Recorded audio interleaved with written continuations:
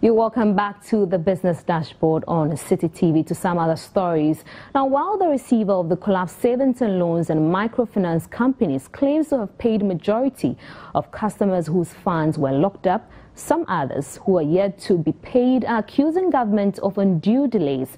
According to some agitated customers in the Ashanti region, government has failed on its numerous deadlines to make payments, making life unbearable for them. Correspondent Hafiz Tijani reports from Kumasi.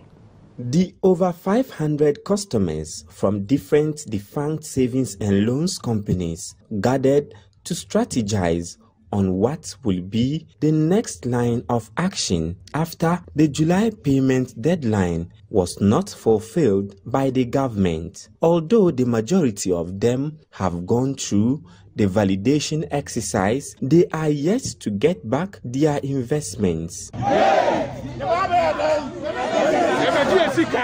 The project is ongoing, but right now, no, it's standstill because of the money have been locked in the bank.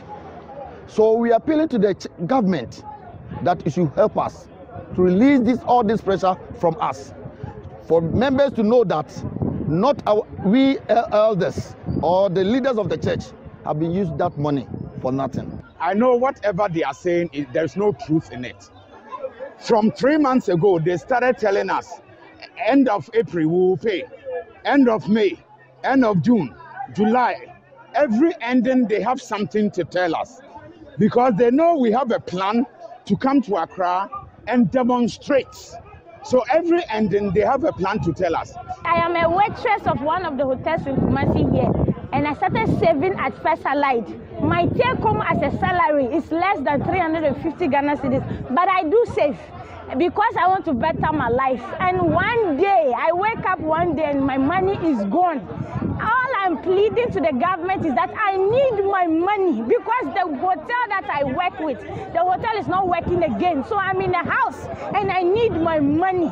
I am a teacher and then we decided to come together as a group to save something for ourselves because of frequently we go to banks for loan. We decided that that is not the, the best. So we decided to put something for, do something for ourselves. We contribute every month and we manage to save a lot. So we decided that once and we will loan the money to ourselves. So we decided to keep the money with First Allied and as when we need it, we go for it all of a sudden that money is gone. Former President John Dramani Mahama recently promised to pay monies of all affected customers if he is voted for in the upcoming general elections. For most of these customers, the former president's pronouncements are convincing. Yɛmfa ma yɛ nipa wua na ewuo edi sɛ akufo ado ntua ɛna yɛyɛ soso no yɛnto ɔbɛma ne biem yɛde support bɛta mahama akyi na ɔbɛtua. yɛsrɛ no pii yɛde nkotodwe ɛpa na kyɛ wɔn fɛ esi kama yɛn.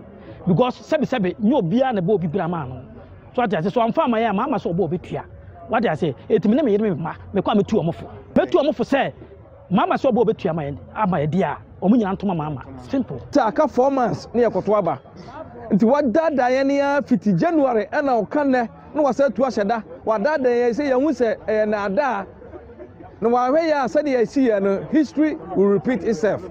Obɛtua sika no ma yɛawie koraa no still obɛlusu Come December 2020, our money will determine our vote, our blood, our money, our blood, our money. At another location in Kumasi, members of the coalition of aggrieved Menzgold customers also held a similar meeting. Francis Owusu is one of the leaders of the group. Uh, we gathered today as a group to discuss the message that came out last last week from the former president John Dramani Mahama.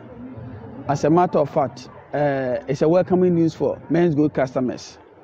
And as we can clearly see, more of us accept the message as a hope. Because at a point, Menzgold customers, we didn't know when and how we are even going to get back our investment.